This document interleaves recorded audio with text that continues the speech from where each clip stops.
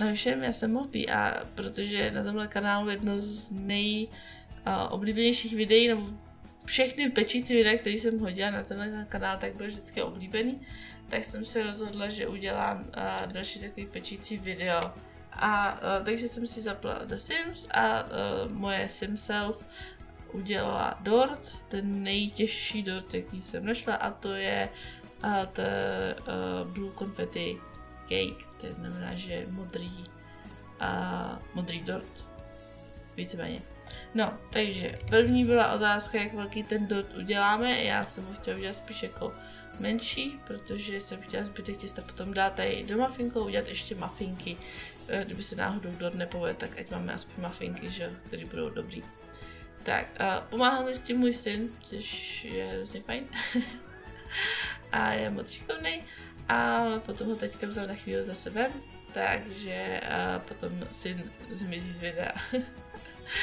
No, každopádně těsto, já začali jsme tím, že jsme rozdělili vajíčka, což mělo veliký, veliký úspěch.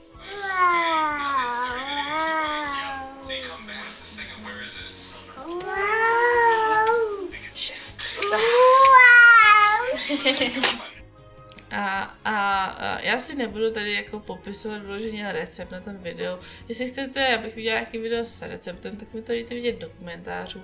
Ale já se jako necítím, já jako nejsem pekař, já prostě mě to akorát baví. A upeču jako tři dorty za rok. Myslím, že jeden na moje narozeniny, jeden na Kuby narozeniny a jeden pro babičku s dědou víceméně.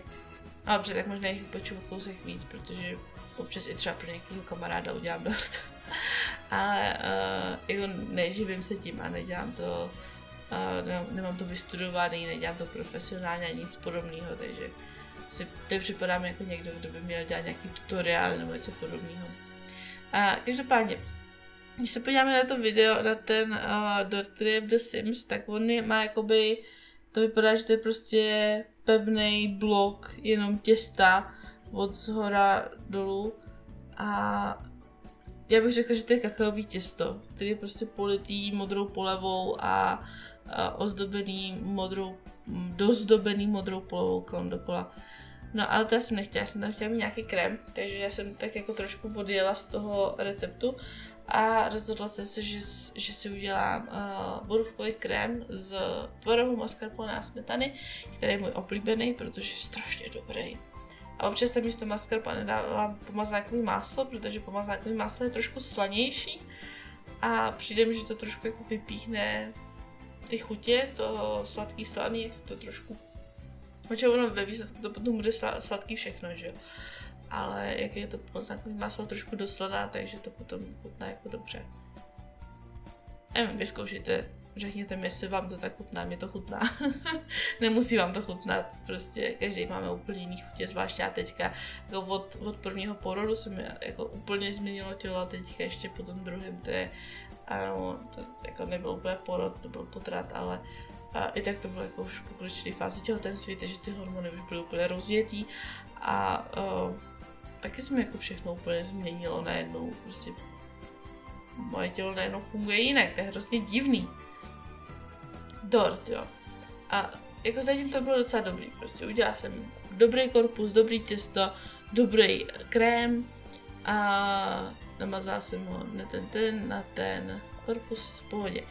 A potom jsem chtěla teda udělat, že já jsem si říkala, že to udělám teda tím krémem, že do něj dám jako barvivo a uh, že bude ten, ten modrý, modrozelený vršek, že bude udělaný barvivý. Takže jsem namíchala hromadu barviva, nebo prostě přidávala po kousíčkách, jo, jako do toho krému. Odedala jsem si kousek krému, přidávala jsem do něj fotobarvivo. No a potom už jsem se dostala do fáze, že furt to bylo světloučky, furt to nebylo ta barva, kterou jsem chtěla, ale už to začalo být hořký. Což nebylo úplně fajn. Tak jsem uh, si říkala, no dobře, a jo, jo, a protože já tam dávám krém, tak moje myšlenka jako byla, že já tam dám krém a kolem dokola to uh, přeborujeme čokoládou, což jako byl dobrý nápad, víceméně. A no jako ono to byl dobrý nápad, ono to bylo dobrý, jenomže já jsem tu čokoládu udělala, jakože jsem udělala temperovanou. A uh, co znamená, že ona když zatuhla, tak byla úplně tvrdá, takže se lámala. Já jsem tam měla dát trošku třeba ty smetany nebo něco, aby se tak nelámala. No pak jsem si říkala, že to, že to uh, přeleju a jo, to je moje profesionální práce s kamerou, tohle to všechno. Pak jsem si říkala, že to poliju jakože bílou čokoládou, jenomže já nemám barvu na bílou čokoládu. A jestli jste si mysleli, že když dáte pár kapiček vody do bílé čokolády s barvou, že to bude v pohodě, tak nebude. Jsem tam chtěla dát marcipán, marcipánu jsem neměla dost, takže to je jako malý. Takže uh, můj nakonec cílová, cílová rovinka je tady uh, fondán.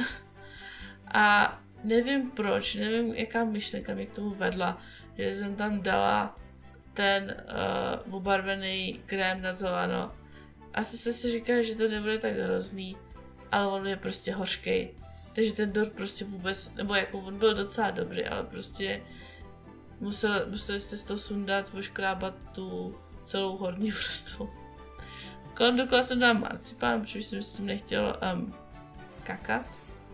A nahoru jsem udělala v úvozovkách konfety, já jsem je udělala z marcipánu, tak, takže vypadají. No. Za mě se mi to nepovedlo. umím udělat daleko lepší dorty, umím udělat daleko hezčí dorty, nevím, proč jsem se pustila do něčeho takového. Já teďka to budu krájet a narazím tady na pevnou vrstvu čokolády, která prostě se láme kolem dokola. No, jako moje myšlenkové pochody v tu chvíli nefungovaly. Na moji obranu byla jsem nemocná, bylo mi blbě, malý byl nemocný, manžel byl nemocný. Prostě celý ten den byl úplně jako pokažený. Potom večer jsme začali s Ivčou nahrávat video a, a potom to jsme donahráli asi hodinu a půl, prostě tři skvělý videa, fakt jako dobrý. Povedlo se nám to bylo vtipný a všechno tak jsme zjistili, že ona nemá, ona jako vůbec nenahrávala celou dobu, že, že ta její nahrávka má 8 vteřin.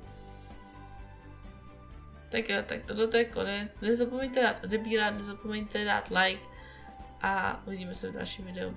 Mějte se hezky. Zatím ahoj.